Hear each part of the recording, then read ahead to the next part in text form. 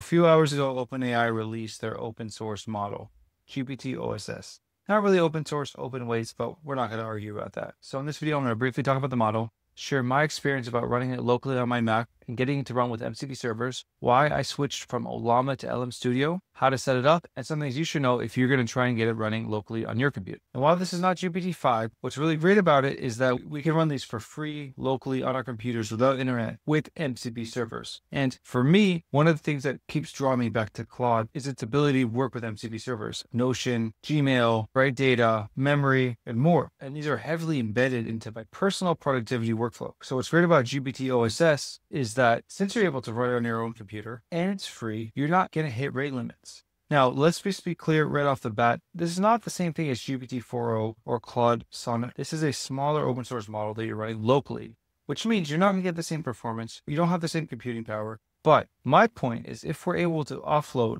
our mundane or smaller tasks to a model like this, where we don't have to worry about usage, we can save and not rely on Claude, for example, to use MCP servers for simple things like updating our Notion. So that's the immediate use case I see for using GPT OSS. And I've actually been playing with it for the last few hours. So I'm just going to share with you my insights and how I set it up. I'm running this on a MacBook Pro M4 with 36 gigabytes of unified memory. OpenAI claims that you could run the 120 billion parameter model on a computer that has 80 gigabytes of unified memory, but the 20 billion parameter model only requires 16 gigabytes. And we're not talking about storage, we're talking about memory. That being said, if you have a bit more than 16 gigabytes, it doesn't mean you'll be able to run this model to its full potential because there are limitations here. What we're talking about here is the context window. But now we're not talking about the context window that the model itself supports. We're talking about the context window that your computer will support. And what we're getting at is your computer could hold a model, but it also has to fit the context window into there. So it all has to fit into memory. And that's where we start seeing the limitations. And as we know, even when we're running closed source models somewhere else on someone else's inference, we see how fast the context window fills up especially when you add more tools. And we're not even talking about using the tools, we're talking about the tools being enabled. The descriptions and everything is added into the context window itself from the beginning of a chat. And when you use tool calls, it uses up even more tokens from your context window. And if you've been using open source models, especially with tools, you know what I'm getting at. Now, there are two main ways that I run open source models on my Mac, and that is either via Ollama or LM Studio. Essentially, what you do is you download a software, that could then download and serve those models to you via various user interfaces like Ollama itself, the terminal, Goose, continue.dev, anything LLM, LM Studio, and plenty more. What I've been doing for the last two years is using Ollama. And I actually started using GPT OSS via Ollama. But once I wanted to start playing dynamically with the context window and also add MCP servers into the mix, I decided to move to LM Studio. So we're going to cover LM Studio in this video. And the same principles still apply to Ollama. And this video is not sponsored by LM Studio or anything. LM Studio, Ollama, Goose, and all these other tools are all free to use. So OpenAI is hosting their models on multiple places like Ollama, like Hugging Face. But to get started, you go to lmstudio.ai, just download the software, install it and run it on your computer. And again, what's great about open source models is that you're able to run them free locally on your computer you don't need an internet connection. Your data is not being sent anywhere else unless you want it to be. Now, once you're in LM Studio, press the Discover tab and you can search for a bunch of different models. GPT OSS is the top model I see right now.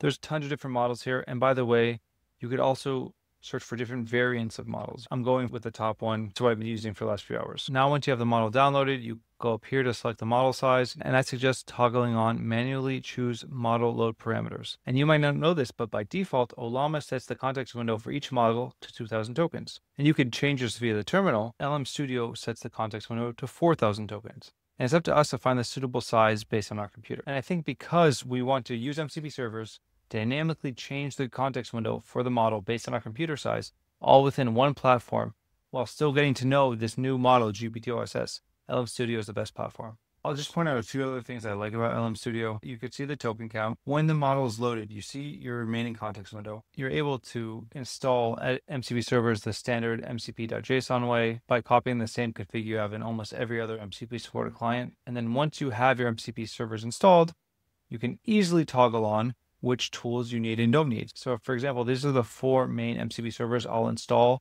on any new client just to test it out. And that's basic memory, bright data, context seven, and sequential thinking. And Bright Data, for example, is a very powerful MCP server with all these abilities, but I don't need all the tools. So I like how easy and convenient it is to not only toggle on and off the MCP servers, but toggle on and off each individual tool. Now, when we load up GPT OSS, the 20 billion parameter model, the first thing you'll notice was we have this new toggle here, reasoning effort. And you can choose if you want to reason with low, medium, or high effort. But now, if you see down here, we see how much of the context window is full. Now remember, we set this up as a 4,000 token context window. That is tiny compared to what we're used to. So if I just say, hey, tell me about yourself. And remember, we're in a low reasoning effort it already filled up 11% of the context window. One prompt, a little bit of thinking, and its response. If we were to start a new chat, and let's say we wanted to use Bright Data to say something like, use the Bright Data MCP to tell me about what's on the front page of Drudge Report, what's the main headline? 0% context is full. We're going to send this off. So we see from a single thought, the context window is already 74% full. That's crazy. And now what's happening is it's going through this loop. You'll see it's going to continue making tool calls. If I stop it now, because you'll see it's still running, says 74%, it updated itself. Now it's 1,434.8% full. It blew through the context window. And what happened here is it just went on this failure loop. It didn't even understand what was happening. So what I'm trying to get to here is the importance of mitigating the context window. You see how much tool call actually eats into the context window. You see how small 4,000 token context window is. And by the way, I'm sure this will be optimized in the near future, but don't worry because we can modify the size of the context window. So I stopped the model and now I'm going to change the model parameters. And because I played with it for a bit, I know that my computer can comfortably run at 32,000 tokens. So I just changed the context length here. I'm going to press load model. Now we see that it's running at 32,000 tokens. So now let's run the same prompt. Use the Bright Data MCP to tell me about what's on the front page of Drudge Report. What's the main headline? So it just finished. And as we see here, the context is now 29% full. That was one tool call. And let's just check if that's correct. Whoa. But yeah, that's the correct headline. So we see the MCP is running, and I just wanted to show you how single MCP calls will eat into the context window. So the moral of the story is we're able to run this local, free, private model on our computer. And as great as that is, you have to take into consideration that this experience will be different than running the closed source frontier models online. You're going to have to readjust the way you use context. You're going to have to readjust the way you use MCPs, and you're going to have to learn the boundaries of your computer.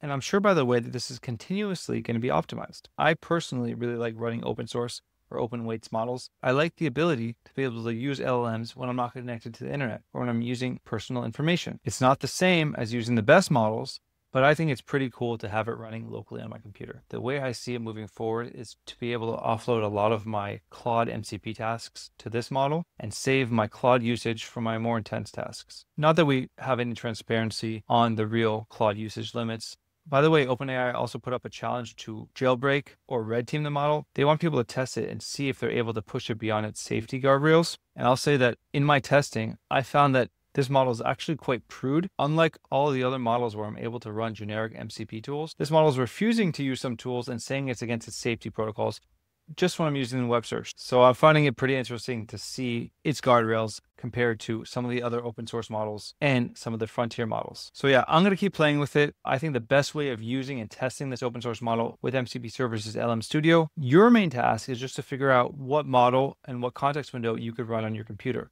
And just use AI search, put in all the specifications of your computer, put in the model you're trying to run, and you'll be able to figure it out with a bit of trial and error. So I hope you found this video insightful or you learned something.